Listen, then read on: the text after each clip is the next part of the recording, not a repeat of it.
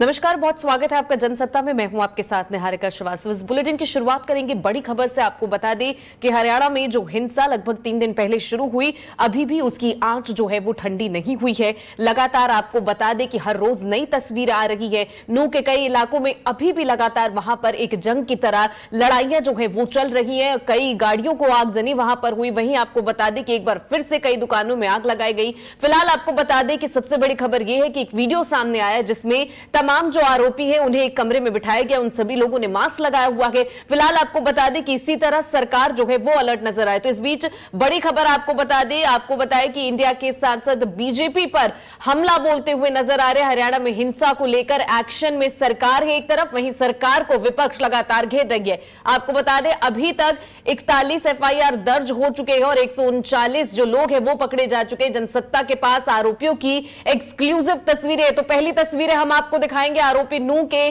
सदर थाने में ज़मीन पर बैठे हुए नज़र। तो तस्वीरें सामने आ चुकी है, आप देख सकते हैं स्क्रीन पर जो तस्वीरें उसमें देखिए कि तमाम जो आरोपी हैं, उन्हें यहाँ पर बिठाया गया है। आप देख सकते हैं सभी ने मास्क लगा रखा है, ये वही आरोपी हैं जिन लोगों ने यहाँ पर राज्य की जो स्थिति है, खराब करी है, तस्वीर जो है वो खराब कर दी है। तो आप देख सकते हैं, ये वही दंगाई है जिन्होंने यहाँ पर अभी फ़िलहाल जो हरियाणा के लोग हैं, इन्हीं की वजह से खौफजदा है। तो आप देख सकते हैं कि तमाम जो यहाँ पर आरोपी उन्हें पकड़कर यहाँ पर बिठाया गया है और अभी ऐसे कई लोग हैं जिन्हें पकड़ना अभी भी बाकी है। आपको बता दें, सरकार इस चीज़ पर बेहद ज़्यादा अलर्ट है।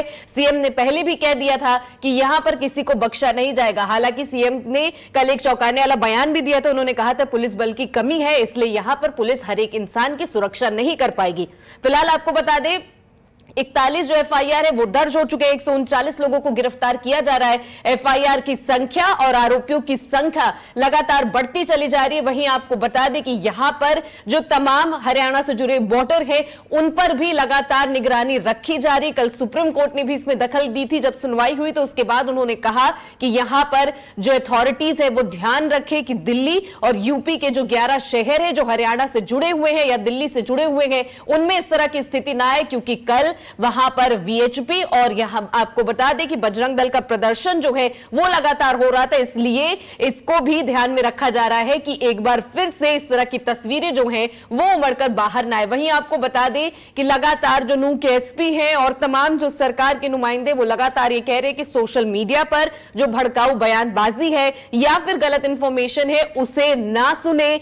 अपने तरीके से यहाँ पर अपना दिमाग का उपयोग करें कि आपको कब बाहर निकलना है, किन लोगों लोगों से बात करनी और फ़िलहाल उन्होंने कहा कि यहाँ पर सांप्रदायिक दंगों को देखते हुए यहाँ पर जो सोशल मीडिया पर गलत इंफॉर्मेशन चल रही है, उसके भरोसे ना बैठे, क्योंकि सरकार और यहाँ पर जो प्रशासन है, वो आपको सही जानकारी दे रही है। फ़िलहाल प्रशासन की तरफ़ से जो जानकारी सामने आ रही है, उसमें ये बातें सामने आई कि फ़िलहाल जो स्थिति है, उसे कंट्रोल किया जा रहा है, लेकिन रात में कई ऐसी जगह है जहाँ पर धार्मिक स्थानों पर बमबारी हो रही है और तमाम जगहों पर आगजनी की जो समस्या है, वो भी सामने आ रही है। आपको बता दें कि हरियाणा, गुरुग्राम और तमाम जो ऐसी जगहें हैं जहाँ पर पहले से तस्वीरें थोड़ी खराब थी, फ़िलहाल अब तस्वीरें सही हुई हैं। जो स्कूल है, वो कई स्कूल खोल दिए गए हैं और जो लोग हैं, वो अब दफ्तर जा रहे हैं। लेकिन अभी भी हरियाणा के तमाम जिलों में लोग जो है, वो खौफजदा है और चाहते हैं कि जल्द से जल्द यहाँ पर जो स्थिति है, वो ठीक हो जाए। आपको बता दें कि यहाँ पर लगातार जो सीएम है,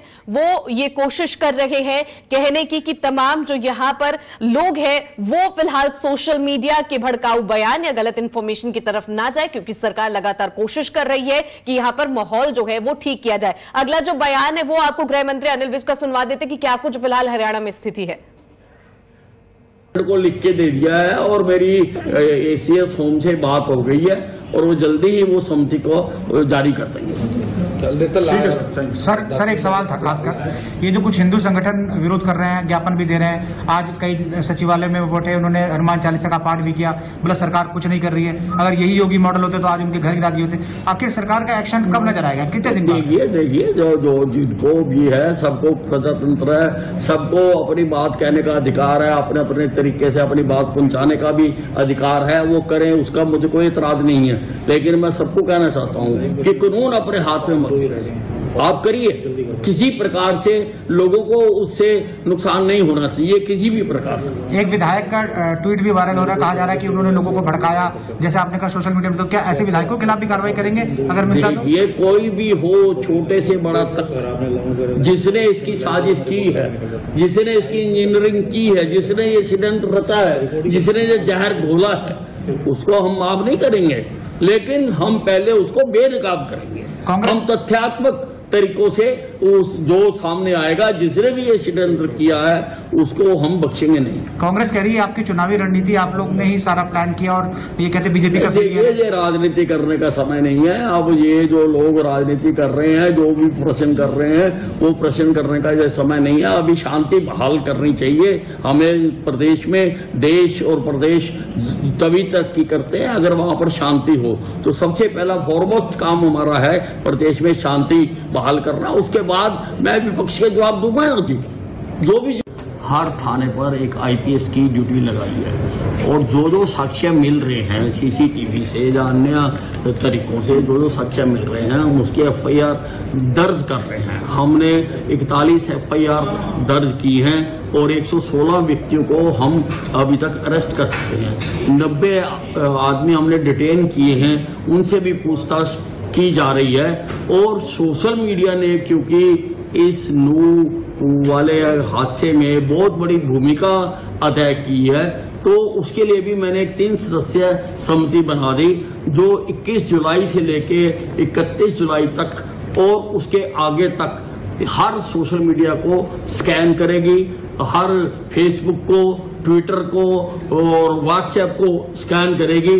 अगर कहीं पर भी किसी ने कोई उत्तेजनात्मक पोस्ट डाली होगी तो कानून के तहत उसके खिलाफ कार्रवाई की जाएगी। और इसके साथ ही मैं हरियाणा के लोगों से भी प्रार्थना करना चाहता हूँ कि कोई पोस्ट मत डालिए। किसी को अंधाधुंध फॉरवर्ड मत करिए। आप ये जानिए कि हम उस पर निगाह रखे हुए हैं। हमने पहले शांति बहाल करनी है अपने प्रदेश में शांति स्थापित करनी है। ये हमारा फ़र्स्ट एंड फॉरमोस्ट कार्य बनता है। तो समय आएगा। लेकिन अभी नहीं है। अभी तो शांति बहाल करनी है। आप लोग भी अपने तरीकों से आप अपने कार्यकर्ताओं के माध्यम से अपने नेताओं के माध्यम से शांति बहाल करने में योगदान दें ये मैं आपको कहना चाहता हूँ। राजनीति करने का जब समय आएगा तो हम और आप करेंगे ना जी? राजनीति करेंगे?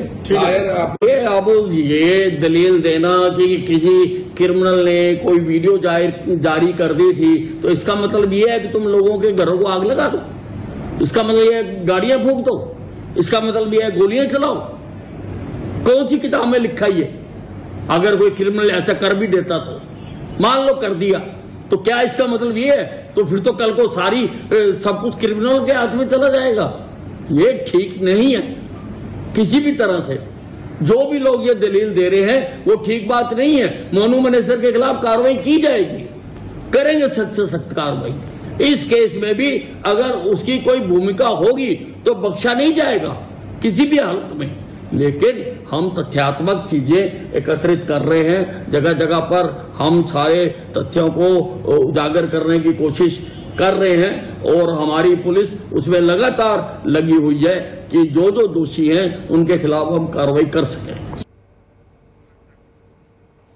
तो अनिल इसके बयान सुने आपने लगातार उन्होंने कहा कि स्थिति कंट्रोल की जा रही है। फ़िलहाल तीन तस्वीरें आपकी स्क्रीन पर है। पहली तस्वीर में आप देख सकते हैं ये वही आरोपी और उपद्रवी है जिन्होंने यहाँ हरियाणा की स्थिति जो है वो खराब करके रखी हुई है। वहीं दू, दूसरी तस्वीर है उसमें अभी भी तमाम जो यहाँ पर रैपिड एक्शन फोर्स है और यहाँ पर अर्धसैनिक बल है वो लगातार फ्लैग मार्च कर रहे हैं और जहाँ पर जो स्थिति है क्रूशल है वहाँ पर लगातार फ्लैग मार्च कर रहे हैं और लोगों को जागरूक करने की कोशिश की जा रही है। वही तीसरी तस्वीर में आप देख सकते हैं कि तमाम जो हरियाणा के ज़िले हैं उनमें अब कामकाज जो है वो शुरू हो गया ज़िंदगी वापस पटरी पर आ रही है। लोग जो है वो घर से बाहर निकलने लगे हैं और पुलिस ने ये पूरी कोशिश की है कि लोगों को किसी तरह का नुकसान ना पहुँचे, क्योंकि यहाँ पर जब भी सांप्रदायिक हिंसा होती है किसी भी जगह पर तो आम जनजीवन जो है वो अस्त व्यस्त हो जाता है और आम जनता को इसका खामियाजा जो है वो भुगतना पड़ता है। लेकिन फ़िलहाल अभी हरियाणा की स्थिति जो है वो ठीक है। कई जिलों में जो पूरा मामला है, उसे शांत कराया गया है और तमाम जो एफआईआर है और आरोपी हैं, उन्हें जल्द से जल्द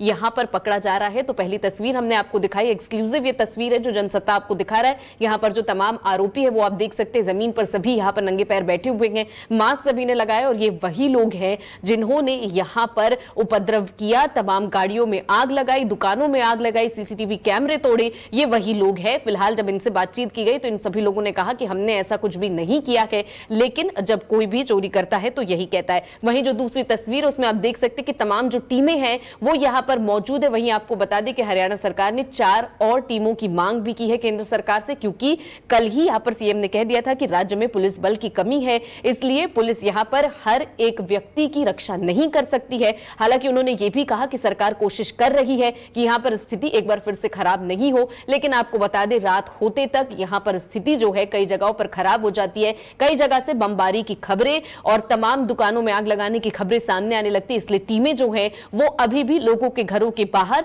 और ऐसी जगहों पर मौजूद है जहाँ पर स्थिति जो है वो खराब हो सकती है जहाँ पर अ, मुस्लिम बहु इलाका जो है वहाँ पर मौजूद है पुलिस और तमाम यहाँ पर जो लोग हैं वो फ़िलहाल पुलिस के होने से आश्वासित हैं कि फ़िलहाल अभी स्थिति जो ठीक है। वहीं तीसरी तस्वीर में आप देख सकते हैं औरतें बच्चे और तमाम जो लोग हैं वो अब दफ्तर जाना शुरू कर चुके हैं। आम जनजीवन जो है वो वापस पटरी पर आता नज़र आ रहा तो फ़िलहाल हरियाणा की तीन तस्वीरें आपको दिखा रहे हैं। आपको बता दें कि तीन दिन पहले चालू हुई इस हिंसा के बाद तस्वीरें जो हरियाणा की सामने आई थी, वो डराने वाली थी, क्योंकि करीब आपको बता दें, सैकड़ों गाड़ियों में आग लगाई गई थी, कई दुकानों में आग लगाई गई, सीसीटीवी जो लगे हुए थे वो तोड़े गए, लोगों के मकानों में आग लगाए, यहाँ तक कि जो धार्मिक स्थल है, उसमें भी लोगों ने यहाँ पर लोगों को बंधक बनाया और तमाम जो यहाँ पर लोग थे, वो फ़िलहाल डरे हुए थे, लेकिन अब जो तस्वीरें सामने आ रही है, वो थोड़ी राहत देने वाली है, क्योंकि यहाँ पर जो लोग हैं वो यहाँ पर लगातार आपको बता दें कि लोग अब राहत यहाँ पर महसूस कर रही है। यहाँ के जो लोग हैं वो क्या कुछ इस हिंसा के बारे में और तमाम वहाँ पर स्थिति किस तरीके की है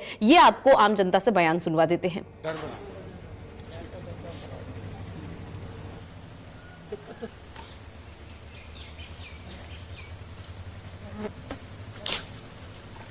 क्या नाम है आपका? केला देवी। केला देवी जी बात करें जिस तरीके का दो दिन पहले 31 तारीख को जिस तरीके का माहौल था कैसा माहौल था यहाँ के क्या कहना चाहोगे उसको लेके? बहुत माहौल खराब हो जी बहुत बुरा हाल हो। हम्म, हमको डर लगता है और ऐसी बात है कुछ खाने पीने को नहीं है हमारा कोई धंधा पानी नहीं है बिल्कुल भी। हम्म, अब जब तो हमारे चले जाते तो ले आते कोई बाज़ार घाट। हम्म, अब बिल्कुल बैठे हैं कुछ ना साग ना सब्ज़ी नहीं कोई पैसा ना देरी नहीं। कोई चाय न पानी नहीं। तो मज- हाँ मजदूरी करते हैं रोज लाते रोज खाते हैं हम। हाँ। तो अब किस तरीके की दिक्कत आ रही है? अब सब तरह की दिक्कत आ रही है हमको डर भी लगता है। हम्म, सियाने बच्चे हैं हमको हम्म, और हमको खाने पीने को भी नहीं मिलता ना कोई दूध नहीं दाल नहीं कुछ नहीं मिलता हमको बाज़ार नहीं घाट में हम घर से ही नहीं निकलते डर बहुत भारी दूसरा पर हमारे। और बहुत माहौल खराब है और अब भी हमको कोई मजूरी नहीं लग रही घर से ही नहीं जा रहे तो कहाँ से हम खाएँगे कहाँ से लाएँगे हम? हम्म, तो खुल रही है राशन कहीं से मिल रहा है? राशन वाशन की आपको दिक्कत आ रही है? कहीं से जो राशन आप लोग लेकर नहीं मिल रहा। राशन नहीं मिल रहा। दुकान भी नहीं खुलनी। कहीं नहीं खुलनी। कल एक आध खुली भी नहीं आध देर तो पुलिस ने बंद करवा दी जब नहीं उन पर क्योंकि उन पर राशन भी नहीं मिल रहा उन पर कुछ भी नहीं मिल रहा दूध दार भी नहीं मिल रहा बिल्कुल डेयरी नहीं बंद कुछ नहीं। कहीं भी नहीं मिल रहा। आटा मिल रहा ना दूध नहीं कुछ नहीं। और कोई मजूरी नहीं मिल रही अब। हम यहाँ बैठे हम परेशान है। चार बच्चे हैं चाँद से खराब हैं। हम्म, वो तो हम रोज लाते कोई गाड़ी घोड़ा मिल जाते तो उतार लेते कट्टा मट्टा ऐसे करते। हम हम बहुत तंग हैं मजूरी ठीक है। आपका? उम्मत। ओमबती जी आप अब जा रहे हो सवेरे सवेरे इतने जा रहे हो। किस लिए किधर जा रहे हो किस लिए जा रहे हो? प्लॉट तो पशु पालते हैं। अच्छा। तो पशु पालने के अलावा और क्या करते हो? किस तरीके के काम करते हो? अब जिस तरीके से यहाँ का माहौल था दो दिन पहले तो उसमें किस तरीके का डर का माहौल था? किस तरीके खाने की व्यवस्था हो पा रही है? क्या खाने वाने की व्यवस्था का? वैसे ऐसा ही है जैसे घर में नहीं सब्ज़ी मिल रही है तरीके से। नहीं कुछ राशन में सब चीज़ में दिक्कत तो आ ही रही है। बाहर जा रहे हो उसका भी भैसा अब जैसे सुबह जा रही हूँ तो ये भी डर लग रहा है कोई पीछे से कुछ आने जाए। हम्म, डर का माहौल बना हुआ है। हम्म, हम्म, हम्म, और बच्चे ने भी बाहर नहीं भेज रहे। हम्म। तो खाने के दूध की किस तरीके से हो रहा है? राशन तो ऐसा है जैसे पहला कुछ है और आज बोला है भाई आज तक वो खुल जाएँगे राशन की दुकान खुल जाएँगे देखो कुछ करेंगे जैसा होगा। हम्म, हम्म, लेकिन डर का माहौल तो बना हुआ है काफ़ी। रात को भी सोते हैं तब भी डर लगता है। रोड के साथ मकान है जन कैसा आएगा कोई क्या होगा सुबह क्या होगा? हम्म। तो मोहल्ले में सब्ज़ी मंडी वगैरह कहीं लग रही है? मोहल्ले में सरकार नहीं। की तरफ़ से बोला जाए कि जाके आप ले सकते हैं इतने टाइम से इतने टाइम तक? नहीं फ़िलहाल नहीं। मोहल्ले में नहीं लग रही। मंडी नहीं है? नहीं। भी क्या नाम है आपका? मेरा नाम लोकेश शेखावत है जी लोकेश आप क्या करते हो? मैं रेहड़ा चलाता हूँ जी। रेहड़ा चलाते हो। तो घर में बच्चे हैं? बच्चे हैं दो लड़के हैं। जी। तो उनके दूध की व्यवस्था या आप किस तरीके से कर रहे हो? पहले कैसे होता था? अब पहले मैं एक किलो दूध लाता था अब मैं आधी किलो दूध ला रहा हूँ। हम्म, पहले सामान आ जाता था अब सामान नहीं आ रहा बिल्कुल भी। थोड़ा मजदूरी नहीं है मैं तो हम्म, अपने वही हिसाब से खर्चा चला रहे हैं। हम्म, कैसे मजदूरी नहीं हो पा रही है? क्या मजदूरी ट्रांसपोर्ट नहीं आ रही गाड़ी नहीं वगैरह नहीं आ रही रेहड़ा कहाँ से चलेगा हमारा? जो ये दंगा हुआ उसकी वजह से? हाँ जी और नहीं। बहुत ज़्यादा परेशानी हो रही है हमको तो हम्म, अच्छा आपकी रोज़मर्रा की ज़िंदगी पहले जो कटती थी आप अब तो डेली वर्कर पैसा कमाने वाले डेली हैं? हाँ डेली कमाने वाला हूँ मैं डेली तो। कमाने हाँ वाले। किसी अब कैसे कट रहा है? क्योंकि सामान भी लाना होता है जैसे डेली पैसा ला, लाते हैं हाँ। तो बाहर से मार्केट से सामान भी लाना है। पहले से और अब में क्या डिफ्रेंशिएट बहुत ज़्यादा फ़र्क है जी मैं तो पहले तो कुछ ज़्यादा सामान आ जाता था। हम्म। अब तो थोड़ा थोड़ा करके ला रहे हैं तो उसी हिसाब से जैसे पास पैसा रखा है घर में उसी हिसाब से ला रहे हैं। परेशानियाँ बहुत आ रही हैं। हाँ बहुत ज़्यादा परेशानी है। क्या नाम है जी आपका? जी मेरा चरण सिंह नाम है जी। चरण सिंह जी किस तरीके की आपको परेशानी हो रही है? इसके दंगे के बाद क्या कहना है? परेशानी तो जी हो ही रही है जी। दूध की परेशानी है बच्चों के लिए। हम्म, और सबसे बड़ी परेशानी जो मेन परेशानी है जी एटीएम बंद पड़े हैं जी बैंक बंद पड़े हैं जी। अब खर्चे के पैसे नहीं है जेब में। हम्म, तो परेशानी परेशानी है सब तरह की परेशानी। जब पैसा नहीं है तो खर्चा कहाँ से होगा कहाँ से गुजारा होगा गरीब आदमी का? तो सबसे बड़ी परेशानी ये है जी एटीएम अगर खोले जाए तो कम से कम थोड़ी देर के लिए तो अपने खर्चे के पैसे तो निकाल ले आदमी। हम्म, नहीं तो भूखे मरने की कगार पर पब्लिक आ रही है। ये समस्या है जी। सिंह जी यहाँ हमने देखा डेली वर्कर्स ज़्यादा हैं जो रोज के काम करके पैसा लेके आते हैं।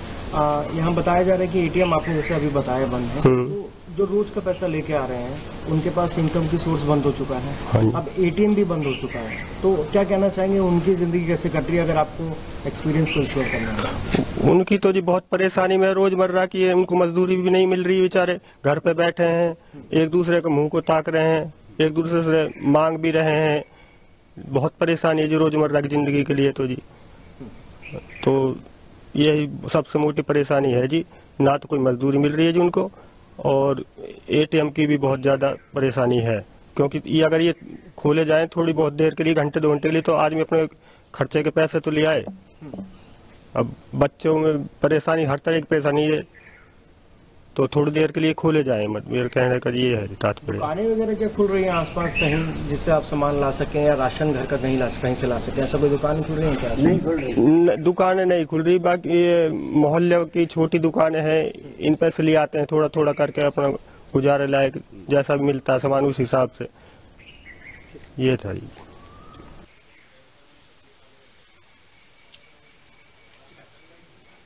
दूध लेने जाता हूँ जी। पहले नंगली जाता था। हम्म। डर की वजह से वो नंगली कितना किलोमीटर पड़ता था? नंगली पड़ता है यहाँ से दो किलोमीटर। अच्छा। पैदल ही जाना पैदल ही आना। हम्म, डर की वजह से छोड़ दिया। अब यहाँ से लेता हूँ। यहाँ भी दूध साढ़े चार खड़ जाता है। हम्म, लेट जाना लेट जा रहा हूँ डर की वजह से। और कुछ बात नहीं है। हम्म। मन में भय रहता है। पहले कितने बजे जाते थे पहले साढ़े चार। साढ़े चार बजे जाते थे। साढ़े चार जाता था। हम्म। अब डर की वजह से मैं लेट जा रहा हूँ दिन के उजाले में।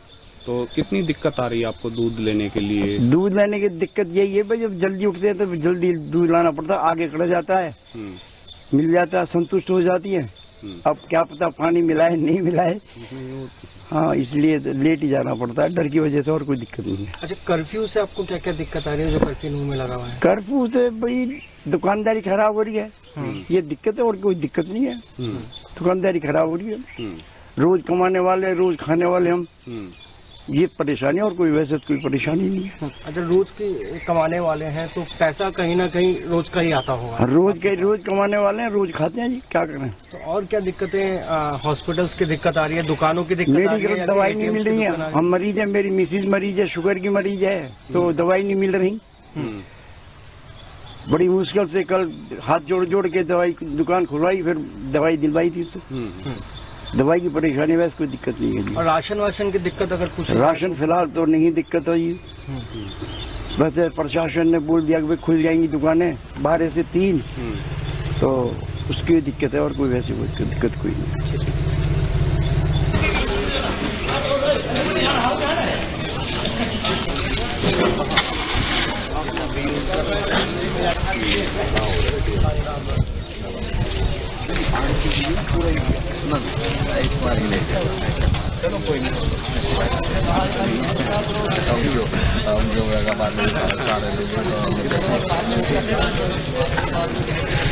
तमाम बयान जो है आम जनता की उर्फ़ हंडू। हीरालाल जी आप क्या काम करते हो? हम सब्ज़ी का काम करते हैं। और सब्ज़ी जब अब तो आज दो तीन दिन हो गए बंद पड़ी है। जब कोई कोई बच्चा भी नहीं आ रहा मंडी के अंदर और हम तो जिस सुबह लगाते हैं अपने शाम को बच्चे के लिए गरीब आदमी है। अपने जब कोई आएगा नहीं तो हम खाएँगे कहाँ से? ऐसे में कोई नहीं आ रहा मंडी के अंदर। हम सब्ज़ी कहीं से ले भी जाते हैं तो वो पड़ी पड़ी सारी वो हो जाती है खराब। क्या करें और बताइए क्या करा जाए? कितनी परेशानी हो रही है परेशानी इतनी हो रही है हम जब कुछ हम पैसे नहीं आ रहा था हम कहाँ कहाँगे कहाँ से खर्चा कहाँ से चलाएँगे? पैसे ही नहीं आ रहा तो हम खर्चा कहाँ से चलाएँगे? और कोई हमारे काम नहीं है ये सब्ज़ी का ही काम है। क्या करा जाइए और बताइए।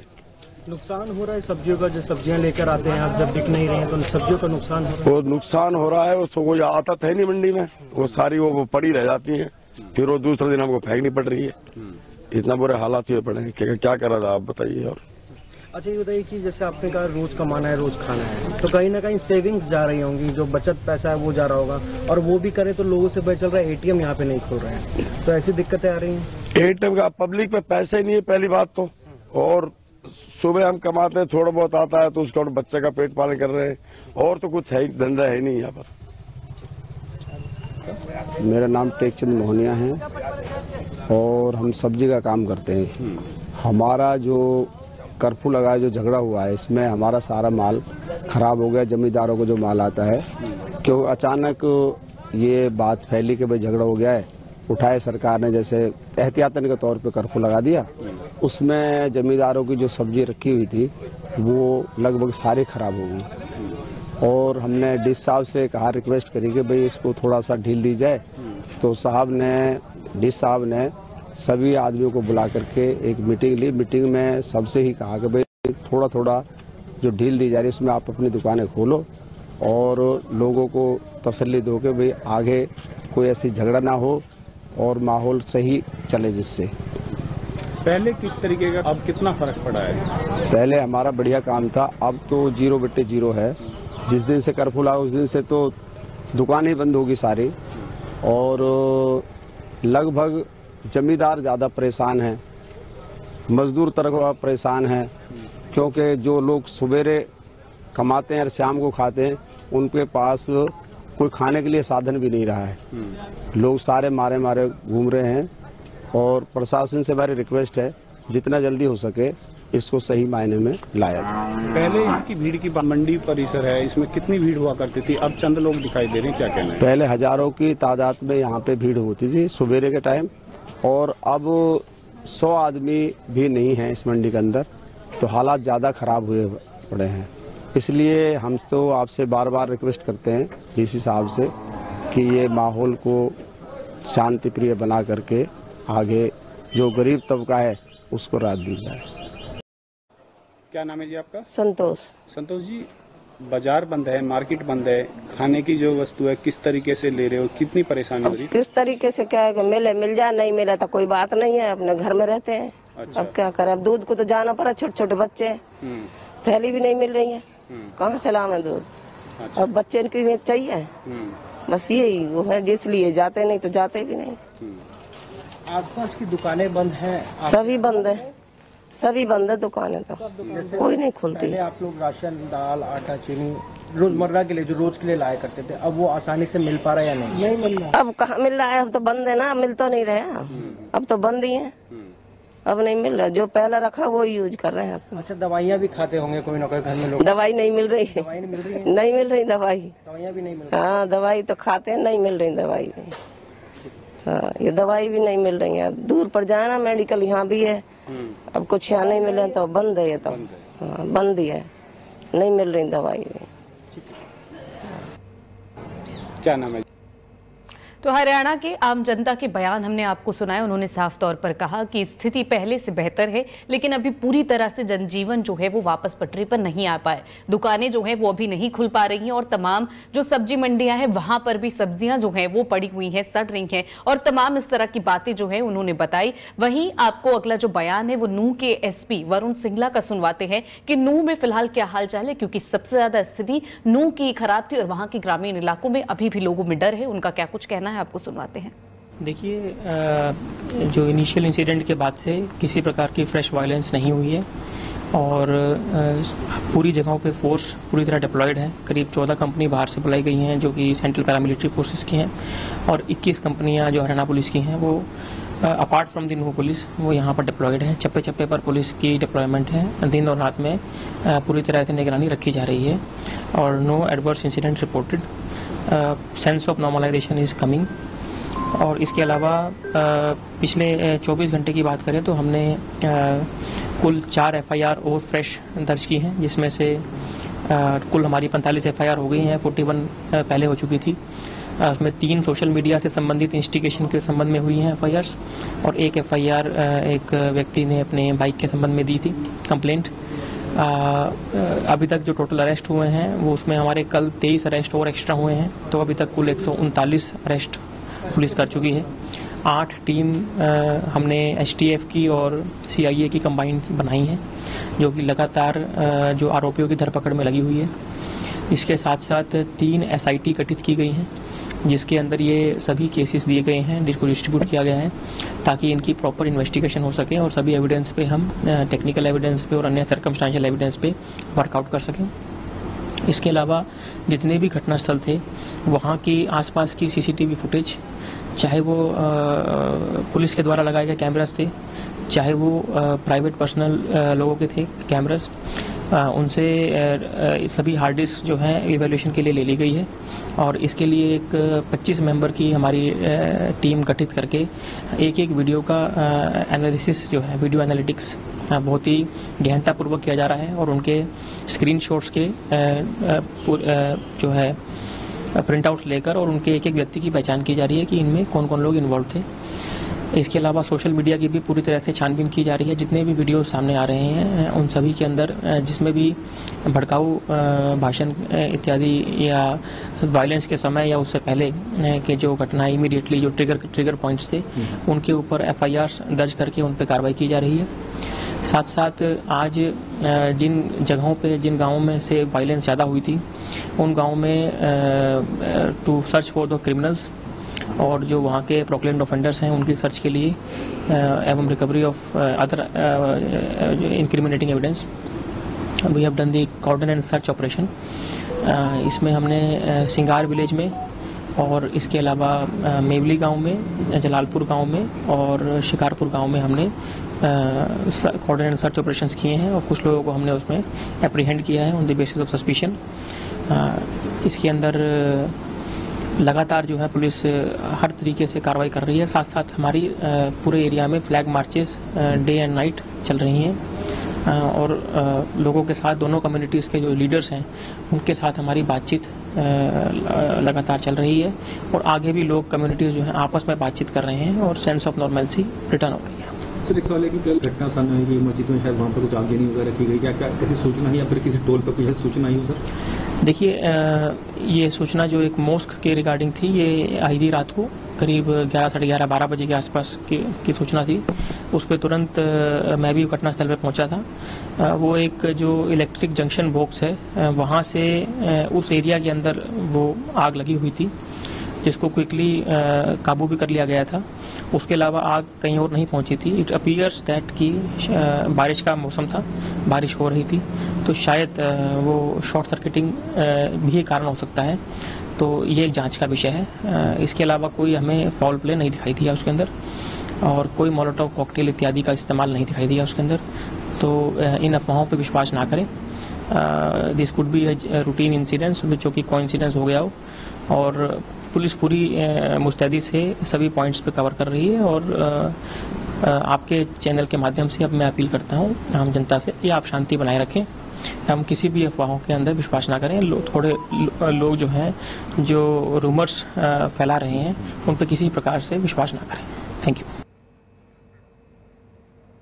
तो नू के एसपी का बयान आपने सुना, उन्होंने कहा कि स्थिति जो है फ़िलहाल कंट्रोल में करने की कोशिश की जा रही है। जो तमाम अफसर है, वो लगातार ये कह रहे हैं कि सोशल मीडिया पर जो गलत अफवाहें हैं, उस पर भरोसा ना करें, क्योंकि लगातार सरकार और यहाँ पर प्रशासन दोनों कोशिश कर रही है कि हरियाणा की जो स्थिति है, उसे कंट्रोल किया जाए। फ़िलहाल आपको अगला जो बयान है, वो गुरुग्राम के एसपी क्राइम का सुनवाते हैं, क्योंकि नू की जो आग है, हिंसा की, वो गुरुग्राम तक पहुँची। वहाँ पर कई मस्जिदों को यहाँ पर निशाना बनाया गया। आपको बता दें कि कई लोग घायल हुए, पेट्रोल बम वहाँ पर फेंके गए। तमाम ऐसी चीज़ें हुई, फ़िलहाल सुन लेते हैं कि एसपी क्राइम का क्या कुछ कहना है।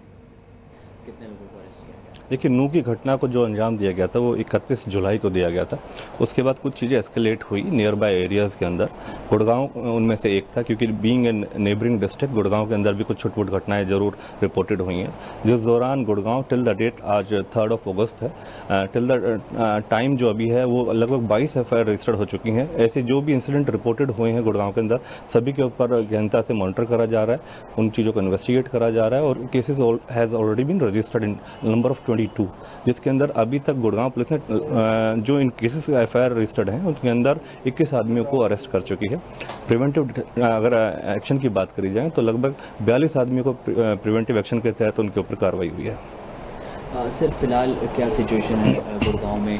आ, और पिछले 24 घंटे की बात करें कई सारे वीडियोस और र्यूमर्स जो हैं वो चल रहे हैं। अ, सोशल मीडिया के माध्यम से काफ़ी ऐसे र्यूमर्स हैं, काफ़ी ऐसे वीडियोस पोस्ट करी जा रही हैं, जो शायद कहीं और दूसरी जगहों की भी हैं। कुछ ये ज़रूर मानते हैं कि नू मेवात के अंदर और कुछ संबंधित कुछ गुड़गांव के एरियाज़ में ऐसी गतिविधियों को अंजाम देने की कोशिश करी गई है, हुआ है। लेकिन बहुत गुड़गांव के अंदर being a neighbouring district of Nuh कुछ जिस तरीके का थर्टी फ़र्स्ट और फ़र्स्ट के आसपास जो एस्केलेट हुआ था, वो सभी जितने भी घटनाक्रम थे, उनके ऊपर काबू पाया गया है। संबंधित के खिलाफ एफआईआर रजिस्टर्ड करी गई है। ऐसे मिसक्रिएंट्स जो लोग, खासकर ऐसी एक्टिविटीज़ में इलीगल एक्टिविटीज़ को अंजाम दे रहे थे, उनके खिलाफ सख्ताई से कार्रवाई करी गई है। लोगों की पहचान करी जा रही है अरेस्ट करे गए हैं, लोगों को डिटेन करा गया है। लेकिन हम ऐसे किसी भी हम, मैं आपकी तरफ़ से ये एक माध्यम से आपको सूचित करना चाहता हूँ आम पब्लिक को सूचित करना चाहते हैं कि हम हिंदू और मुस्लिम के खिलाफ नहीं हैं। हम उनके खिलाफ हैं जो लोग मिसबिहेव कर रहे हैं मिसलीड कर रहे हैं, गलत एक्टिविटीज़ में इन्वॉल्व हो रहे हैं। तो काफ़ी लोगों के अंदर ये रोष आ रहा है कि पुलिस एक तरफा कोई अगर कहीं पर कोई कार्रवाई कर रही है तो पुलिस के लिए कोई हिंदू और मुस्लिम नहीं है। पुलिस के लिए सब हमारी, हम पुलिस की, जो पुलिस के बिहार पर जितनी भी जनता है, जितने भी लोग यहाँ रहते हैं। हम सबकी सुरक्षा के लिए ये कार्रवाई करते हैं। हम प्रिवेंटिव एक्शन ले रहे हैं तो किसी की सुरक्षा के लिए ले रहे हैं। हम नहीं चाहते किसी तरीके से लोग गलत रिमर्स फैलाएँ कि पुलिस किसी एक पर्टिकुलर समुदाय विशेष के लिए काम कर रही है। पुलिस काम कर रही है सिर्फ़ किसी भी इलीगल एक्टिविटी या घटनाक्रम को रोकने के लिए। तो हमारी तरफ़ से पूरी कोशिश है कि पुलिस बिल्कुल संवेदनशील होकर इन चीज़ों के ऊपर एक्टिविटी करे, अपनी कार्रवाई करे। लेकिन हाँ ये बिल्कुल हम वार्निंग देना चाहते हैं सख्ताई से।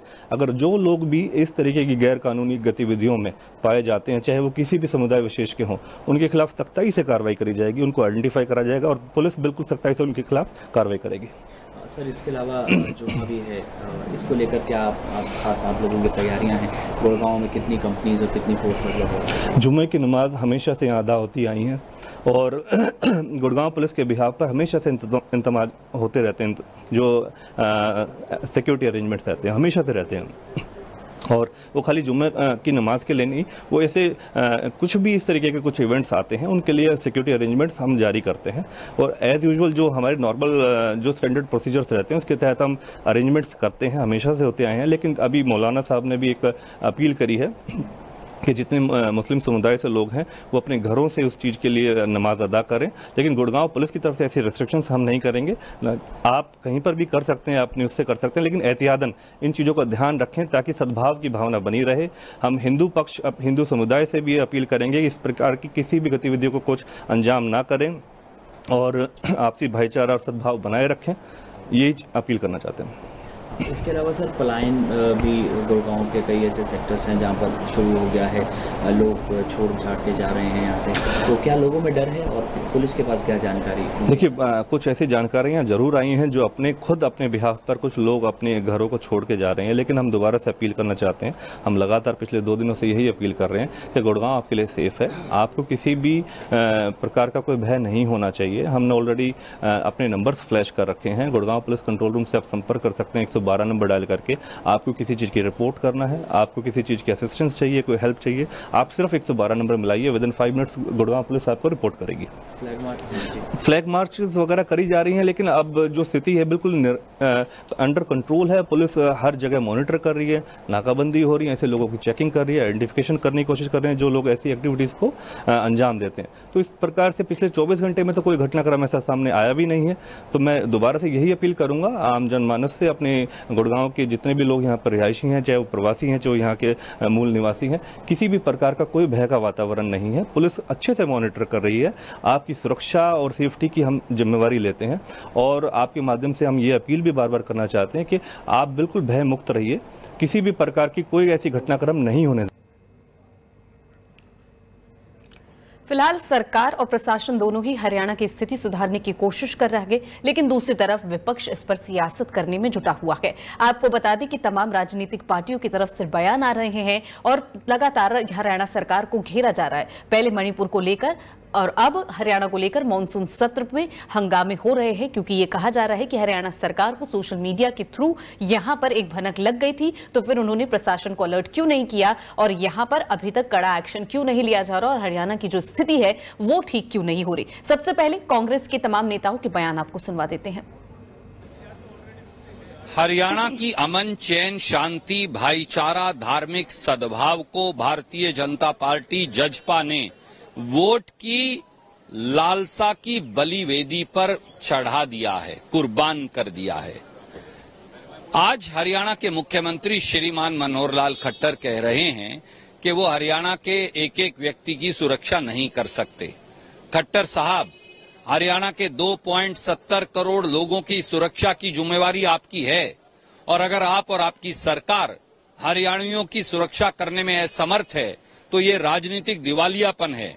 झोला उठाइए और घर चले जाइए, क्योंकि ना आप राजधर्म निभा पा रहे, ना आप ना आप प्रदेशवासियों के प्रति अपना कर्तव्य। और दूसरा जो महत्वपूर्ण पहलू है, अपनी वोट की लालसा में धार्मिक उन्माद फैलवाकर, हिंदू मुसलमान को लड़वाकर वोट बटोरने के लिए भाजपा जजपा ने जो गुड़गावा के साथ किया है, वो हरियाणा के लिए दशकों और वर्षों तक घातक रहेगा। हरियाणा में गुड़गावा एक आइलैंड ऑफ़ पीस है। शांति, औद्योगिक प्रगति इंटरनेशनल कॉरपोरेट ऑफ़िस का हब है। पूरी दुनिया की हर फैक्ट्री का कॉरपोरेट ऑफ़िस जो है वो गुड़गावा में है। जब वहाँ धार्मिक उन्माद होगा, दंगे होंगे, गाड़ियाँ जलाई जाएँगी तो इन्वेस्टमेंट निवेश, रोज़गार सब चला जाएगा। रेवेन्यू कहाँ से आएगा हरियाणा को? और आखिर में वर्षों तक हम सबको, हरियाणा के एक एक वासी को, खट्टर साहब और भाजपा, जजपा के कुकर्मों की सजा भुगतनी पड़ेगी। देखिए, बहुत देर कर दी, हजूर आते आते। अब क्या आरएएफ की वहाँ पे बटालियन और जब कहाँ थी पुलिस, जब यात्रा निकल रही थी तो ये टकराव ना हो, उनके साथ पुलिस होनी चाहिए थी। वहाँ पे पुलिस डिप्लॉय होनी चाहिए थी। प्रिवेंटिव मेजर लेने चाहिए थे सरकार को, लेकिन तब सरकार कहीं दिखाई नहीं दी पुलिस बल कहीं दिखाई नहीं दिया जिसकी वजह से आज विफलता सरकार की प्रशासनिक विफलता की वजह से आज ये हरियाणा के अंदर हालात बने। और पहली बार नहीं है हरियाणा में तो एक के बाद एक ऐसे हालात कई बार बन लिए इनकी जब से सरकार बनी आई है।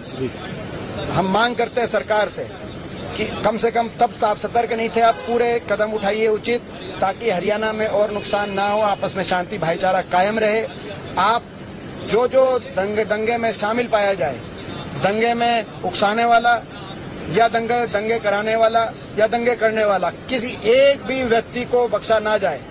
हर के खिलाफ कठोर से कठोर इस तरह की कार्रवाई की जाए कि देश के अंदर एक उदाहरण बने कि हरियाणा के अंदर अगर कोई एक दंगा में शामिल पाया जाता है तो ये कार्रवाई की जाती है। और साथ में हम ये भी मांग करते हैं कि सरकार नैतिक ज़िम्मेदारी ले क्योंकि ये प्रशासनिक विफलता के बगैर नहीं हो सकता था ये। और नैतिक ज़िम्मेदारी लेकर जो जो इसमें जहाँ कहाँ चूक हुई है वो सारी बात सरकार सार्वजनिक करे जाँच करे सरकार सार्वजनिक करे कि कहाँ कहाँ चूक हुई है और वहाँ भी कार्रवाई हो। मुख्यमंत्री के इस्तीफे की भी मांग कर दी नैतिक ज़िम्मेदारी उनको लेनी चाहिए। जो मुख्यमंत्री ये कह रहे हैं कि साठ हज़ार पुलिस बल तीन करोड़ हरियाणा वासियों को सबको सुरक्षा नहीं प्रदान कर सकती ये गैर जिम्मेदारा जाना ऐसा बयान जो मुख्यमंत्री जी दे रहे हैं, उनको नैतिक अधिकार नहीं है, क्योंकि प्रदेश सरकार का पहला कर्तव्य प्रदेश के लोगों को सुरक्षित महसूस कराना, सुरक्षा देना होता है। ऐसे मुख्यमंत्री और ऐसी सरकार को नैतिक ज़िम्मेदारी देते, देकर इस्तीफा देना चाहिए और हमें कमांड सौंपो। हम दिखाएँगे कैसे सबको सुरक्षा दी जा सकती है। कांग्रेस की सरकार 10 साल रही हरियाणा के अंदर, कोई एक भी, कोई बड़ा, कोई दंगा या कोई इस प्रकार का बड़ा कानून व्यवस्था में कहीं जो है कोई 10 साल तक नहीं हुआ तो आज ये सरकार को आत्मंथन करना चाहिए और ज़िम्मेदारी लेनी चाहिए। आपने कांग्रेस के नेताओं के बयान सुने, उन्होंने साफ़ तौर पर कल के सीएम के बयान को लेकर यहाँ पर टारगेट किया है। उन्होंने कहा कि सीएम कह रहे हैं कि यहाँ पर पुलिस सबकी सुरक्षा नहीं कर सकती, लेकिन आप हमें कमान देकर देखिए, उसके बाद हम बताएँगे कि सुरक्षा कैसे होती है। तो लगातार कांग्रेस और तमाम राजनीतिक पार्टियाँ जो है, उन्हें अब मुद्दा मिल गया है हरियाणा को लेकर, क्योंकि हरियाणा की जो स्थिति है और तीन दिन से जो तस्वीरें आ रही हैं, उसके बाद सरकार पर सवाल उठना लाजमी है। अगला जो बयान है, वो आप पार्टी के तमाम नेताओं की सुनवा देते हैं। क्या कुछ उनका इस स्थिति पर कहना है? नहीं देखिए कल बड़ा ही आ, बहुत ही सरप्राइजिंग रहा। जैसे ही लोकसभा दो बजे बैठी लेजिस्लेटिव बिज़नेस ट्रांजैक्ट करने के लिए आ, सत्ता पक्ष के जो सांसद थे बीजेपी के सांसद उन्होंने शोर हर शुरू कर दिया हल्ला गुल्ला मचाने लग गए जिसके चलते हाउस एडजर्न हो गया। मात्र एक डेढ़ मिनट में ही हाउस एडजर्न हो गया। तो ऐसा लगता है कि सरकार की मंशा ही नहीं है सदन चलाने की, सरकार की मंशा ही नहीं है लेजिस्लेटिव बिज़नेस ट्रांजैक्ट करने की, और सरकार की मंशा ही नहीं है कि दिल्ली बिल लाकर उस पर मतदान भी कराया जाए, उस पर चर्चा हो। न जाने क्यों सरकार दिल्ली बिल पे चर्चा से भाग रही है। उन्हें शायद ऐसा लगता है कि अगर वो चर्चा पे आएगा तो तमाम सांसद मिलकर इंडिया ब्लॉक के तमाम सांसद सरकार को एक्सपोज करेंगे और ये सिद्ध करेंगे सदन के पटल पे। कि कैसे सरकार एक चुनी हुई लोकतांत्रिक ढंग से लोगों के जनमत से चुनी हुई सरकार की शक्तियाँ लेकर उसकी हत्या कर रही है। दूसरी तरफ़ हरियाणा में जो हिंसा हुई है नूह में और गुड़गांव में मुख्यमंत्री ने कहा है कि जो लोग दंगाई लोग हैं उनसे ही इसका कंपेंसेशन वसूला जाएगा। देखिए एक चीज़ साफ़ हो गई है पिछले कुछ दिनों में। वो ये है कि बीजेपी के हाथ में देश सुरक्षित नहीं है। बीजेपी इस देश को अमन, प्यार, शांति, भाईचारा और एक अच्छी कानून व्यवस्था नहीं दे सकती। एक तरफ़ हमारे देश का एक अभिन्न अंग, हमारा एक बॉर्डर स्टेट मणिपुर जल रहा है। पिछले नब्बे पिचानवे दिन से जल रहा है। वहाँ दो समुदायों के बीच बहुत हिंसा हो रही है। एथनिक क्लेंजिंग तक का दर्जा दिया जा रहा है उस हिंसा को। और दूसरी ओर हरियाणा जो भी, वो भी बीजेपी शासित प्रदेश है। जहाँ सदैव से शांति रही है, वहाँ एक प्रकार से सांप्रदायिक सद्भाव बिगड़ा है, वहाँ पे सांप्रदायिक हिंसा हुई है। तो ये दोनों चीज़ें दिखाता है कि बीजेपी विफल है देश को शांति, सद्भाव और एक अच्छी कानून व्यवस्था देने में। दोनों मणिपुर और हरियाणा में भाजपा की सरकार है, केंद्र में भाजपा की सरकार है। फिर भी इस प्रकार से अगर हालात बन रहे हैं तो यही समझ में आता है कि या तो बीजेपी कंप्लेसेंट है या कंप्लिसिट है, या तो बीजेपी निकम्मी है उसके बस की नहीं है आ, कानून व्यवस्था संभालना या फिर वो मिली भगत है उनकी और मिली भगत के चलते ही वो खुद ही इन इस प्रकार के भाईचारे को डिस्टर्ब करने में अपना योगदान दे रहे हैं। लेकिन जो क्योंकि दो बड़ी पार्टियाँ जो है एनडीए समर्थन की घोषणा कर दी तो राज्यसभा में कहीं ना कहीं गणेश उनकी कोई ना कोई मजबूरी रही होगी। भारतीय जनता पार्टी का दबाव रहा होगा। ये तो वक्त की बातें वक्त के साथ ही पता चलेंगी उनकी क्या मजबूरी रही है। परंतु फिर भी मुझे ऐसा लगता है कि उनके सांसद इवन बीजेपी के सांसद भी आत्मा से मानते हैं कि बिल गलत है परंतु ये धक्काशाही हो रही है। तो आप लोग कुछ बीजेपी के सांसदों के संपर्क में है जो क्रॉस वोटिंग की नौबत अगर आए तो कर सके? नहीं ऐसा तो नहीं होगा क्योंकि ओपन वोटिंग होती है सीक्रेट वोटिंग नहीं होती है। तो पार्टी व्हीप के हिसाब से सबको जाना पड़ेगा नहीं तो सदस्यता खत्म हो जाएगी। परंतु जो आत्मा की बात है मैं आपको वो बात बताऊँ। कल जो विपक्ष है वहाँ पे कांग्रेस के जो नेता थे रंजन चौधरी उनका बयान उन्होंने कहा कि ये एक तरह से स्पॉन्सर्ड एडजमेंट था ये गलत था। लोकसभा का जो एडजमेंट हुआ। देखिए जो भी एडजमेंट हुआ ये तो सरकार अपने तरीके से चीज़ों को चलाती है। सरकार पहले दिन से हम चर्चाओं की मांग करते हैं चर्चा करवाना नहीं चाहती बिना चर्चा के चीज़ें पास होती जा रही हैं तो उसका कोई इलाज भी नहीं है। एक दूसरा बड़ा मुद्दा हरियाणा का अब तक छह लोगों की मौत हो चुकी है। उसमें जो पुलिस वाले एक सौ सोलह आई आर हुए हैं। लगातार लोगों को डिटेन किया जा रहा है।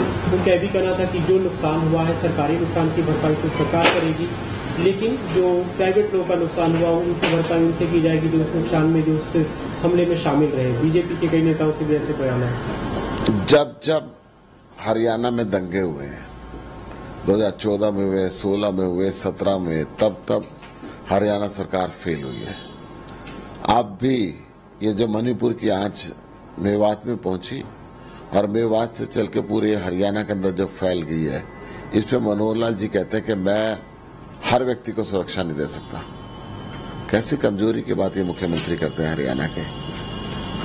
इनको फोर्स की कमी बताते हैं तो फोर्स भर्ती करनी चाहिए थी। केंद्र सरकार से पुलिस को मांगना चाहिए था। परंतु हरियाणा के हर व्यक्ति की ज़िम्मेदारी सुरक्षा की सरकार की बनती है। और सरकार अपने इस दायित्व से भाग रही है। यही कारण है कि हरियाणा में समय समय पर निवेश नहीं आ रहा है। यही कारण है कि हरियाणा में रोज़गार पैदा नहीं हो रहे। सबसे बड़ा बेरोजगारी का केंद्र हरियाणा बन चुका है। और यही कारण है कि हरियाणा में रहना अब लोग असुरक्षित समझने लगे हैं। परंतु फिर भी हरियाणा के लोगों से मैं अपील करना चाहूँगा कि वक्त हमेशा एक सा नहीं रहता। आप आपसी भाईचारे को बना कर रखें, सौहार्दपूर्ण वातावरण बना कर रखें, एक दूसरे की मदद करें। हरियाणा को आगे बढ़ना है हरियाणा को विकसित होना है इस जाति और धर्म की लड़ाई के अंदर नहीं भाव। आप इस बयान को कैसे देखते हैं कि से कराई जाएगी जो जो लोग इस हमले में शामिल जो भी जो भी उपद्रवी है उसकी कोई जाति और धर्म नहीं होता। उपद्रवियों के साथ सख्ती से पेश आना चाहिए और कानून को अपना रास्ता लेना चाहिए। कानून में जो भी प्रावधान है उन सभी प्रावधानों का इस्तेमाल होना चाहिए। आपने इस पे नोटिस भी दिया है राज्यसभा में आज?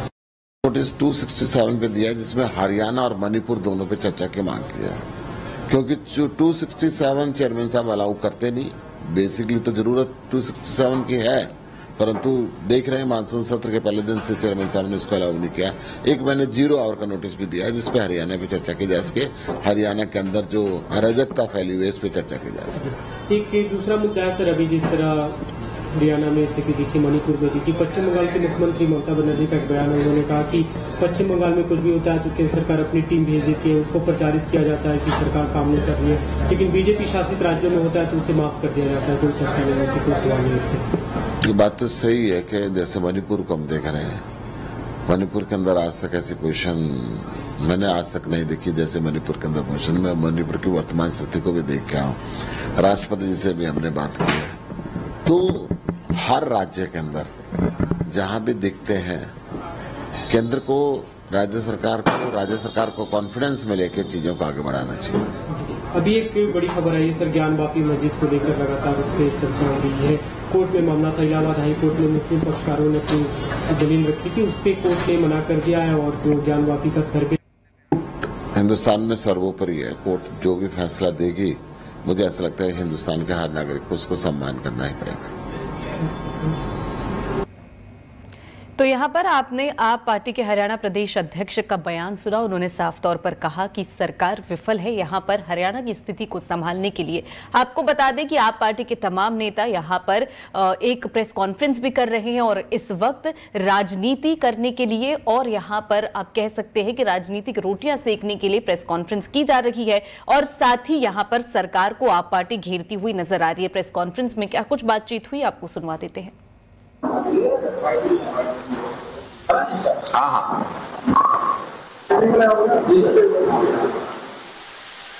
मीडिया के सभी साथियों का आज की प्रेस कॉन्फ्रेंस में बहुत बहुत स्वागत है। जैसा आपको पता है कि इस वक्त प्रदेश एक बेहद गंभीर परिस्थिति से जूझ रहा है। हरियाणा में कभी भी सांप्रदायिक सौहार्द का वातावरण नहीं बिगड़ा। आपसी भाईचारे से हम सदियों से रहते आए हैं। लेकिन जिस तरीके की घटना नू और मेवात के इलाके में हुई और उसके बाद कई और जिलों में हरियाणा के कुछ कुछ घटनाएँ देखने को मिली, उससे ये साफ़ संदेह जाता है कि ये किसी प्रकार की राजनीतिक साजिश तो नहीं। और कल जिस तरीके से मुख्यमंत्री मनोहर लाल खट्टर जी का बयान आया। तो मुझे स्मरण हुआ कि मनोहर लाल खट्टर जी ने 26 अक्टूबर 2014 को और 27 अक्टूबर 2019 को जब मुख्यमंत्री के पद की शपथ ली थी तो उन्होंने हरियाणा के लोगों की सुरक्षा सुनिश्चित करने का वायदा भी किया था। लेकिन आज संविधान की शपथ लेने वाले मुख्यमंत्री मनोहर लाल खट्टर जी कहते हैं कि हरियाणा के हर नागरिक को सुरक्षा नहीं दे सकते, हर नागरिक की सुरक्षा नहीं कर सकते। सबसे पहले तो मुख्यमंत्री जी का ये बयान, संविधान की उनकी शपथ के खिलाफ, उनके पद की प्रतिष्ठा के खिलाफ और बहुत ही गैर जिम्मेदाराना बयान है। मुख्यमंत्री जी ने जिस तरीके से कहा कि प्रदेश के हर नागरिक की सुरक्षा पुलिस नहीं कर सकती है, यानी सरकार प्रदेश के हर नागरिक को सुरक्षा नहीं दे सकती है, इसका सीधा मतलब ये कि वो अपने पद पर बने रहने का नैतिक अधिकार खो चुके हैं, उनको तुरंत प्रभाव से अपने पद से इस्तीफा दे देना चाहिए। हम क्यों बार बार ये कह रहे हैं कि हरियाणा को धार्मिक या ये कहें सांप्रदायिक दंगों में फेंकने की एक सुनियोजित साजिश की जा रही है। उस तरफ़ धकेला जा रहा है पूरे प्रदेश को। ऐसी अगर कोई गतिविधि वहाँ पर होनी थी, जिसकी कि कल हमने देखा कैमरे पे इंटेलिजेंस के अधिकारी वहाँ के ये कह रहे हैं, दस दिन पहले इसकी सूचना दे दी थी कि यहाँ पर कुछ भी गलत हो सकता है, गड़बड़ हो सकती है। उसके बावजूद गृह मंत्री विज साहब कल ये कहते हैं कि सीआईडी की कोई पूर्व इंटेलिजेंस उनके पास नहीं थी। 2020 में सीआईडी के अधिकार को लेकर के मुख्यमंत्री और गृह मंत्री के बीच जिस तरीके का विवाद हुआ, वो पूरे प्रदेश ने देखा था। तो क्या ऐसी संभावना है कि सीआईडी मुख्यमंत्री को रिपोर्ट करती है? और गृह मंत्री को सीआईडी की सूचनाएँ नहीं दी जाती या नहीं दी गई, क्योंकि सीआईडी कह रही है कि हमने तो पूर्व सूचित किया था। गृह मंत्री कह रहे हैं, हमारे पास ऐसी कोई सूचना नहीं थी। तो क्या सीआईडी सिर्फ़ मुख्यमंत्री के लिए, प्रदेश के मुख्यमंत्री के लिए काम करती है? और उनकी सूचनाएँ, जो कि गंभीर श्रेणी में आती हैं उनको गृह मंत्री के साथ और पुलिस विभाग के साथ समय रहते साझा नहीं किया गया, जिसकी वजह से इतना बड़ा हादसा हुआ, इतनी बड़ी घटना हुई और जिसकी वजह से प्रदेश का माहौल बिगड़ा। दूसरा, मुख्यमंत्री जी को सीआईडी रिपोर्ट करती है और ये सूचना गृह मंत्री के पास नहीं गई है तो पहली बात। दूसरी बात कि उसी समय सैकड़ों नू ज़िले के पुलिसकर्मी उनको नू ज़िले से निकाल करके, जबकि ऐसी कोई संवेदनशील अगर परिस्थिति होती है तो बाकी जिलों की फोर्स को भी डिप्लॉय किया जाता है, जहाँ पर ये यात्रा हो रही थी या जहाँ पर भी इस तरीके की घटना का अंदेशा था। लेकिन उसके बावजूद नू ज़िले के सैकड़ों पुलिसकर्मियों को वहाँ से निकाल के मुख्यमंत्री जी ने अपनी सुरक्षा में दूसरे ज़िले में बुला लिया। ऐसा क्यों किया गया? तीसरी बात जो संदेह की तरफ़ इशारा करती है कि ऐसी कोई संवेदनशील परिस्थिति होती है तो सीनियर अधिकारियों को छुट्टी दी नहीं जाती। और अगर छुट्टी पर हो तो उनकी छुट्टी तुरंत प्रभाव से कैंसिल कर दी जाती है। लेकिन नू के पुलिस अधीक्षक जिस दिन ये पूरा घटनाक्रम हुआ, उस दिन छुट्टी पर थे। ऐसी संवेदनशील परिस्थिति में जब पहले से इंटेलिजेंस का इनपुट था पुलिस अधीक्षक की छुट्टी सरकार ने क्यों मंजूर की? चौथी बड़ी बात उप मुख्यमंत्री कहते हैं कि यात्रा के जो आयोजक हैं, उन्होंने सही जानकारी नहीं दी, जिसकी वजह से हो सकता है कि मिस कैलकुलेशन पुलिस की तरफ़ से हुआ। यात्रा को भारतीय जनता पार्टी की जिला अध्यक्ष गुड़गांव से हरी झंडी दिखाकर रवाना करती हैं। उस पार्टी की नेता जो आज के दिन में प्रदेश में सत्ता में है, उनकी बहुत महत्वपूर्ण ज़िम्मेदारी थी कि सही सूचना दी गई। तो क्यों नहीं दी गई? ये भी संदेह उत्पन्न होता है। मुख्यमंत्री जी ने कहा कि हर व्यक्ति की सुरक्षा के लिए पुलिस उपलब्ध नहीं है, हरियाणा में पुलिस कर्मी नहीं दिया जा सकता। तो हम मुख्यमंत्री जी से सवाल पूछना चाहते हैं कि सिपाही से लेकर इंस्पेक्टर तक पिछहत्तर हज़ार एक सौ छियासी स्वीकृत पदों में से इस वक्त सिर्फ़ उनचास हज़ार आठ सौ आठ पद भरे हैं। पच्चीस हज़ार से ज़्यादा पद इस वक्त पुलिस विभाग में हरियाणा के अंदर खाली हैं। क्या मुख्यमंत्री इसकी ज़िम्मेदारी लेंगे कि उनकी वजह से, पुलिस फोर्स की कमी की वजह से हरियाणा प्रदेश में बार बार कानून व्यवस्था की स्थिति उत्पन्न होती है। क्या मुख्यमंत्री जी इसकी, इसका संज्ञान लेते हुए, नैतिक ज़िम्मेदारी लेते हुए अपने पद से इस्तीफा देंगे? क्योंकि प्रदेश में नौकरी देना, नहीं देना, ये तो सरकार की ज़िम्मेदारी है। और ये सारी गंभीर स्थिति उत्पन्न होती है अगर पुलिस की कमी की वजह से। तो साफ़ नज़र आता है कि मुख्यमंत्री मनोहर लाल खट्टर जी, गृह मंत्री अनिल विज जी समेत पूरी सरकार इस परिस्थिति को कंट्रोल करने में लॉ एंड ऑर्डर को मेंटेन करने में पूरी तरह से नाकाम साबित हुई है। इसलिए तुरंत प्रभाव से मुख्यमंत्री और गृह मंत्री को अपने पद से इस्तीफा दे देना चाहिए। और जो सक्षम लोग सरकार चला सकते हैं, उन्हें मौका दिया जाना चाहिए। ये स्पष्ट तौर पे इसको आप कहें कि एक सोची समझी रणनीति के तहत एक एक्सपेरिमेंट करने की कोशिश की गई है। तो ये गलत नहीं होगा।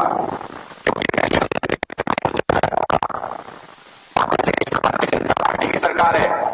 केंद्र में भारतीय जनता पार्टी की सरकार है। कोई कुछ नहीं बोला, मणिपुर के मुद्दे पर भी ऐसे ही हिंसा को होने दिया गया, किसी ने ध्यान नहीं दिया। इसी तरह से हरियाणा को भी सांप्रदायिक दंगों की आग में झोंकने की एक सुनियोजित साजिश रची गई। और सरकार सही वक्त पर मुँह मोड़ के खड़ी हो गई। पुलिस की ड्यूटी ज़िले से बाहर लगा दी गई। पुलिस अधीक्षक को छुट्टी दे दी गई। इंटेलिजेंस की इनपुट साझा नहीं की गई एक दूसरे के साथ। और सही जानकारी के कितने लोग वहाँ पर हो सकते हैं वो दी नहीं गई। ये सारी चीज़ें इस तरफ़ इशारा करती हैं कि सरकार ने इस हिंसा की तरफ़ से मुँह मोड़ लिया और उसके बाद अब मुख्यमंत्री गैर जिम्मेदाराना बयान देते हैं। कि पुलिस नहीं है हर व्यक्ति को सुरक्षा उपलब्ध कराने के लिए तो मुख्यमंत्री जी, आपको भी इस पद पर बने रहने का कोई अधिकार नहीं है। इसी से जुड़ी हुई एक और समस्या जो पैदा हो गई है, वो भी आपको ध्यान देना चाहिए। ग्रुप सी का पाँच और छह अगस्त को एग्ज़ाम है, और उस परीक्षा के लिए पहले ही सरकार ने युवाओं के साथ बहुत ज्यादती की है। कहा कि जितने पद हैं उसके सिर्फ़ चार गुना युवाओं को बुलाया जाएगा परीक्षा देने के लिए। जबकि सभी सीईटी क्वालिफाई किए हुए युवाओं को मौका दिया जाना चाहिए था इसके लिए। इतने लाखों बच्चों का भविष्य बर्बाद करने की साजिश पहले ही सरकार रच चुकी है। उसके बाद अब जो चार गुना बच्चे भी परीक्षा देने के लिए एलिजिबल किए गए हैं, पाँच जिलों के अंदर इंटरनेट सेवाएँ पाँच तारीख तक बंद है। पाँच और छह तारीख को एग्ज़ाम है। इन जिलों में अभी भी कानून व्यवस्था की स्थिति ठीक नहीं है। क्या सरकार को बिल्कुल कोई परवाह नहीं है कि ये बच्चे एडमिट कार्ड कैसे इनको हासिल होगा? कैसे ये बच्चे एग्ज़ाम देने के लिए जाएँगे? क्या सरकार को युवाओं के नौकरी के साथ खिलवाड़ करने में मज़ा आता है? क्या वैकल्पिक व्यवस्था का अनाउंसमेंट अभी तक नहीं हो जाना चाहिए था? आज जब हम ये बात कर रहे हैं तो तीन तारीख है। क्या वैकल्पिक व्यवस्था सरकार ने की कि युवा तमाम विपक्षी नेताओं के बयान आपने सुने, लगातार विपक्ष कह रहा है कि सरकार को जब भनक लग गई थी, प्रशासन को अलर्ट करना चाहिए था और इतनी जो आगजनी हुई और यहाँ पर लोगों की मौत हुई, वो नहीं होती।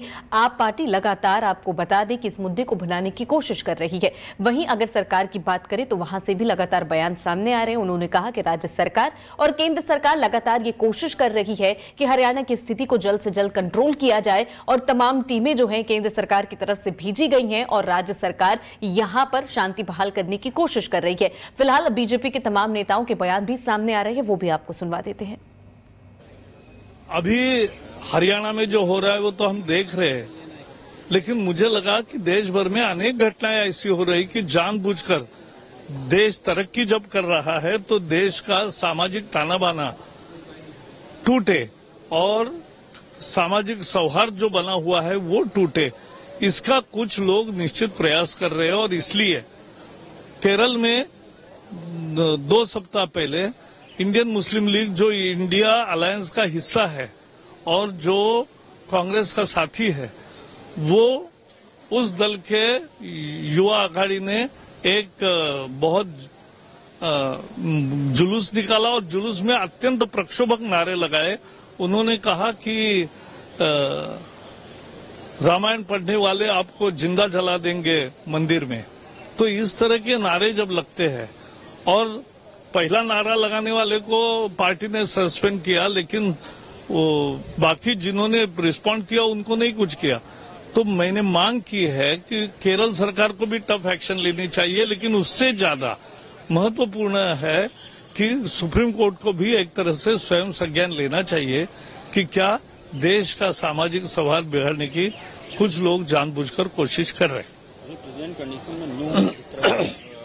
नूह के बारे में मैं इसलिए नहीं बोलूँगा क्योंकि जब स्थिति अभी नियंत्रण में आ रही है और वो उसकी जाँच चल रही है उसके बाद ज़रूर बोलेंगे अभी नहीं। देखिए कानून तोड़ने वाले अपराधियों के मन में भय होना चाहिए। वो सरकारी संपत्ति को प्राइवेट संपत्ति को नुकसान पहुंचाएँगे तो उनकी भरपाई उनसे होनी चाहिए। ये कानूनी प्रावधान है। और ये मुख्यमंत्री जी ने कहा ऐसे लोगों के खिलाफ जिन्होंने संपत्ति को नुकसान पहुँचाया है वो उनसे वसूल किया जाएगा। ये तय कर दिया मुख्यमंत्री जी ने। लेकिन सर जो विपक्षी दलों के नेता है वो ये कह रहे हैं कि complete law and order failure था और मणिपुर से तुलना कर रहे हैं। देखिए विरोधियों के पास आज अस्तित्व बचाने के लिए कुछ बचा बाकी नहीं है। वो हर चीज़ में वोट खोजते हैं। हर चीज़ में उनको वोट चाहिए। लेकिन हमको देश चाहिए, भाईचारा चाहिए। हमारे लिए पहले देश है, पहले भाईचारा है, उसके बाद वोट की बात है। वोट आती रहेंगी, जाती रहेंगी, चुनाव आते रहेंगे, जाते रहेंगे। कोई जीतेगा, कोई हारेगा, लेकिन देश बचेगा, भाईचारा बचेगा, तब ये सारी चीज़ें बचेंगी। तो सरकार के यहाँ पर जो बयान है, वो आपने सुनो उन्होंने साफ़ तौर पर कहा कि यहाँ पर जो विपक्षी पार्टियाँ उन्हें सिर्फ़ वोट चाहिए और इसीलिए हरियाणा के इतने ज़्यादा ज़रूरी मुद्दे को वो यहाँ पर राजनीतिक तरीके से भुनाने की कोशिश कर रहे हैं। आपको बता दें, बीजेपी के नेता ने कहा कि यहाँ पर हमें भाईचारा और देश जो है, वो सबसे ज़्यादा प्रिय है, इसलिए हम लगातार कोशिश कर रहे हैं कि हरियाणा में जो स्थिति है, उसे कंट्रोल की जाए। आपको बता दें कि नूह की जो आग है, हिंसा है, वो गुरुग्राम तक पहुँची और आपको बता दें कि जुमे की नमाज़ को लेकर गुरुग्राम के एक इमाम का जो बयान है, वो भी यहाँ पर सामने आया। अगला बयान उनका सुनवा देते हैं आपको। मैं अब्दुल हसीब कासमी, चेयरमैन गुरुग्राम इमाम संगठन। मेरी सभी से गुजारिश है कि जैसा माहौल चल रहा है